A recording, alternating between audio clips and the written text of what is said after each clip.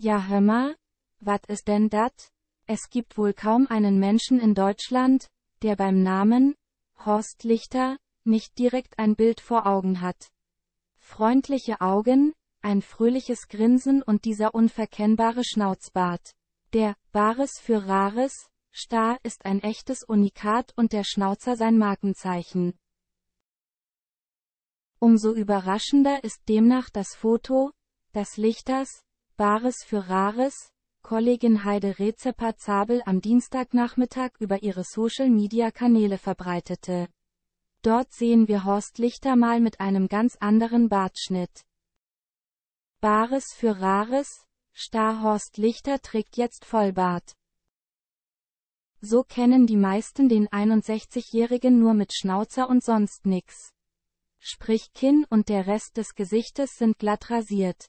Nun scheint sich der Koch und Moderator aber für einen etwas wilderen Look entschieden zu haben.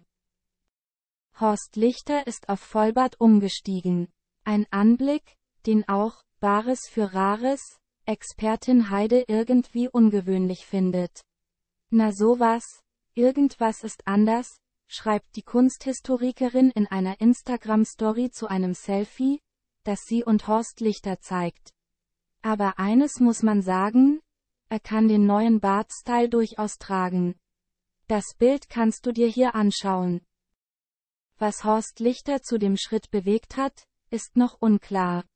Ebenso wissen wir noch nicht, ob und wenn ja, wann der Rheinländer das erste Mal mit Vollbart im ZDF zu sehen sein wird. Eines ist nur klar, über diesen Bart wird noch viel gesprochen werden. In der aktuellen Folge von Dienstag, 28. Februar 2023, ist Horst Lichter jedenfalls noch mit gewohntem Bartwuchs zu sehen. Dafür durften sich die Fans aber über einen ganz besonderen Verkauf freuen.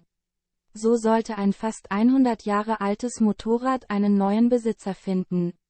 Ob das klappte, wer das Schätzchen mit nach Hause nahm und warum ZDF-Experte Sven Deutschmanek auch auf dem Jahrmarkt als Wahrsager auftreten könnte, kannst du hier nachlesen.